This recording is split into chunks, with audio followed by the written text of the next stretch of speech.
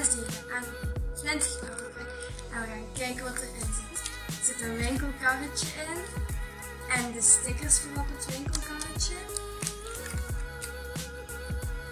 Ik heb ook al de winkel en de extra blokjes. Ik heb ook autootjes. De extra blokjes.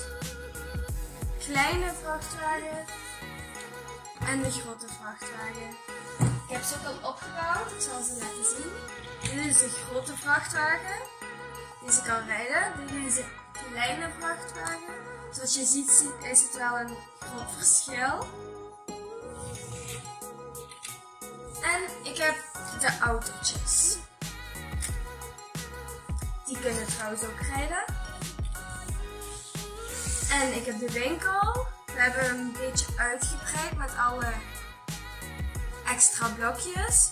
Hier zetten we dan de vrachtwagens.